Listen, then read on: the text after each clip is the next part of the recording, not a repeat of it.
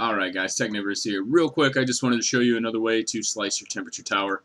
This is going to be using Cura and some of its post-processing scripts in order to change temperatures at different layer heights. Now, um, we are going by layer, but you can easily go by height, uh, and in fact that is the native setting. So if I go to post-processing, modify G-code, you can see I have mine set up here already. Each of these is a temperature change um, between 185 and 220.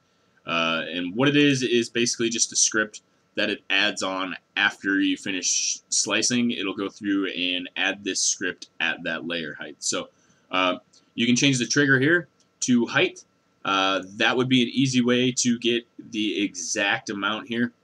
I did go through and adjust everything by the layer again. Uh, and one of the reasons for that is because of let's close this. It's because of this gap right here.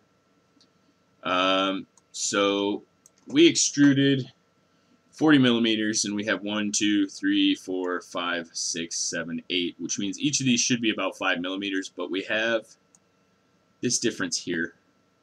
Um, so if we were to go back into our modeling software and get the height of just this piece and subtract that and then divide the remainder uh, by 8, we would get the height of each particular square, and then we could just add that um, kind of like this here. So you'd go to modify G-code, and what you would do is go by height uh, and change the height here. And then we're changing the extruder temperature. We're not changing the flow rate, the bed, or any of that. So um, we're going to go ahead and just close this. I did have one, two, three, four, five, six, seven, eight. The reason there's eight temperature changes uh, some of these filaments start off a little higher than 185, and printing this first layer down at 185 was causing some adhesion problems for me. So I did update and add a brim to this to keep it from tipping over.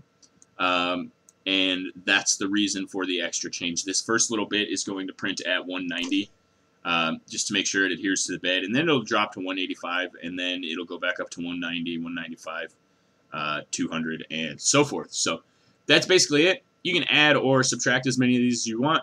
Uh, we are going to be looking at some other scripts in the future because there's some pretty cool stuff in here. The uh, pause at height and filament change, insert at layer change, things like that. These are really cool for uh, adjusting your model. And the filament change in particular, you can switch colors at a certain layer um, to get multicolored prints. And you can do that more than once, so you can print with five, ten colors if you have the desire to. Uh, I will tell you that this other script, this this uh, filament change script, is friggin' annoying because when it stops, it sits there and beeps until you change the filament. So it's nice that it lets you know that it's ready to change, but if you're not uh, on top of it, you're going to hear some some latent beeping that's kind of annoying. But um, this is all about slicing this temp tower. So uh, here you can see how we did that. This is using Cura entirely. We don't have to edit any G-code or anything. We have our file um, slice it up, and it automatically does all the post-processing adjustments for you. So go ahead and save that to my removable drive, and we will print one out. not going to show you the print in this video because it is cheap week. We are printing temperature towers for our cheap filaments, and we will be putting up the Weebooks black filament video today, and you will see the temp tower there. So thanks for watching, guys. Technivorous out. And as always, guys, I am Technivorous. Thanks for watching this video. Don't forget to hit the like button. You can subscribe right here by clicking on the icon. And I put a couple videos up in the corner. One of them is going to be my latest video, my latest upload. And the other one is going to be what YouTube recommends for you. So feel free to check those out. Don't forget to hit that bell for notifications down below. And we'll see you guys next time.